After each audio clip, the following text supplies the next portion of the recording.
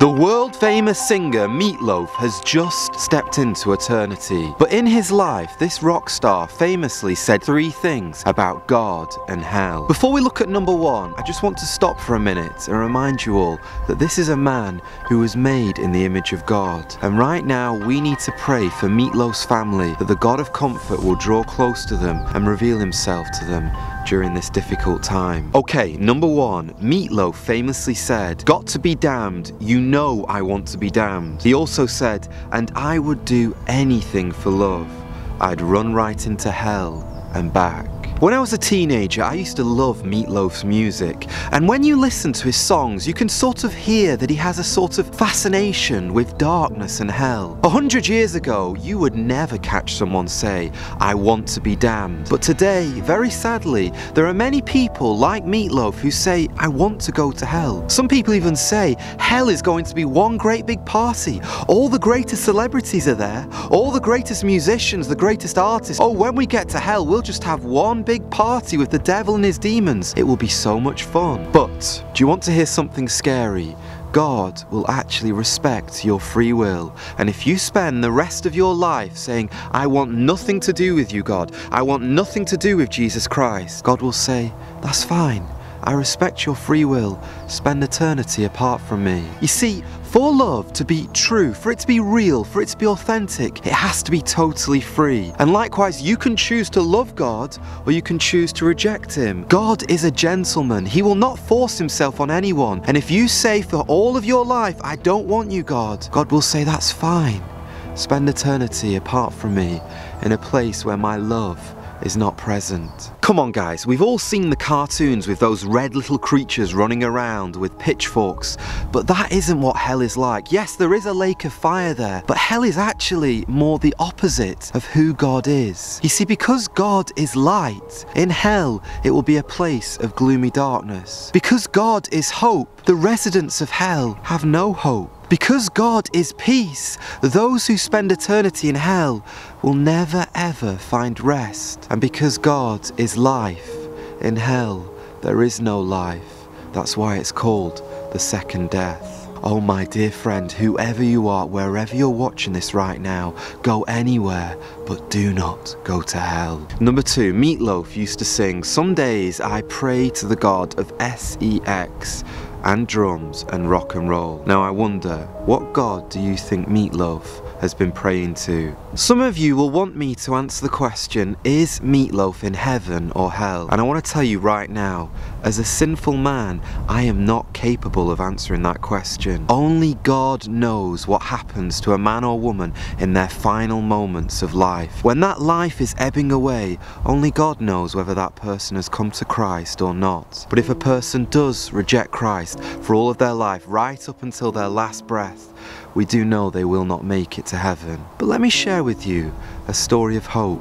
One of my best friend's dads was dying and my friend was very concerned because he knew that his dad had not yet put his trust in the Lord Jesus Christ. And when his father was lying on his deathbed, he knew if he went up to his father and started sharing the gospel, his brothers and sisters would be very angry at him, saying, How dare you preach to him? Just let him rest, let him have some peace. And my friend said he had to come to the point where he had to ask himself this question In a million years' time, will it matter if my brothers and sisters are angry at me? No. But in a million years' time, it will matter where my father is spending eternity. So he bit the bullet and he sat down next to his father and he shared the gospel with him. Anyway, a few days later, his father died. And my friend was still very concerned. He didn't know for sure. He didn't know how his father had responded to the gospel. So he prayed to God and he said, Lord God, would you give me a sign? Would you give me some kind of reassurance? Because I've just got to know where my dad is right now. Anyway, one night he was driving his car and he received a phone call from his brother. And his brother said, You know, when dad died, something kind of disturbed me. There was a sort of presence as if there was other people in the room and my friend knew within an instant what had happened. Jesus tells a parable about where a man of God, Lazarus, goes to heaven, and it says in that parable that the angels carried him to Abraham's side. And my friend knew that the angels had come and carried his dad to the Lord's side.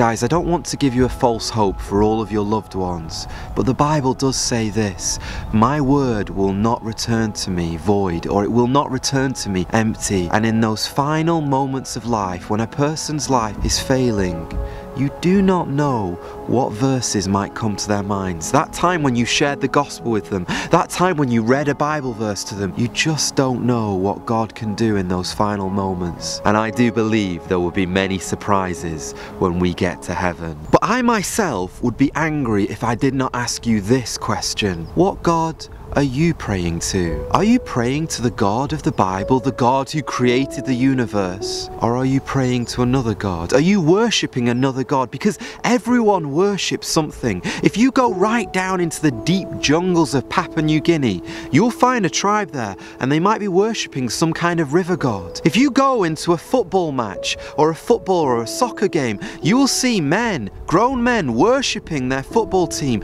singing chants. Everyone worships something, whether it be the God of success, the God of pleasure, the God of money, the God of self. Every single one of us worships something. And I want to ask you, are you worshipping Jesus Christ or are you serving yourself? Okay, the third and actually the most powerful thing that Meatloaf once sung was this. He said, The Lord, He loves everybody. But is that true? Does God love everybody? Well, let's listen to the words of the Lord Jesus Christ. He said, For this is the will of my Father, that everyone who looks on the Son and believes in him should have eternal life, and I will raise him up on the last day. So, does God love everybody? Of course he does. Just look at the cross. Look at the great lengths that Christ went to to show you how much he loved you. If Christ didn't love people, why would he have his beard plucked out? Why would he have a crown of thorns smashed into his skull? Why would he have nails driven through his hands and his feet? Why would he be stripped naked, mocked, beaten, clothed only in spittle, dust and blood? Why would he do all of that if he didn't love you? He did that because he died there so that you might be forgiven, so that you might have a chance to be saved if you will put your trust in him. You see, you and I have a great debt. There are so many sins that we don't even know about that we've committed. Our lies, our blasphemy, our wicked thoughts, all the wrong things we have done deserve to be punished. And on the cross, Jesus Christ took the weight of our sin and he suffered total agony there so that we might be forgiven. He died there so that you might have life and so that you might not have to go to hell. I hope this doesn't sound arrogant, but I know 100% that when I die, I'm going to heaven. Why do I have a hope in that? I don't have a hope in myself, in any righteousness, in any goodness of myself. I've got a terrible track record. I am a sinner. The man looking at you has no goodness in him, but I have a hope in Jesus Christ. I have believed in him, and I want to tell you if you put your trust in him, you can have a hope. You can know for sure that you are going to heaven. Guys, if any of you died and then three days later came back from the dead, I would listen so carefully to what you have to say. And that's why we need to listen to the Lord Jesus Christ when he says, Whoever believes on me, I will raise them up on the last day. You see, we have a grave that is waiting for us, but Jesus Christ is in the business of emptying graves. Meatloaf's fate is sealed, and only God knows where he is right now. But what about you? You right now have an opportunity. Your heart is beating, there is breath in your lungs. You have an opportunity to turn from your sins and to turn to Christ. And I've got to ask you, will you do it? Will you stop worshipping all of the gods of this world, the gods of wealth, money, self, pleasure, sin? And will you start worshipping the Saviour of the world, the Lord Jesus Christ. I don't know if you've heard of the actress Megan Fox. Well, she sort of made a similar claim to Meatloaf, where she said she went to hell and came back. If you'd like to hear about that, click here. And if you haven't yet subscribed, please do. We love your friendship here at Off the Kirb Ministries. God bless you all, and thank you for watching.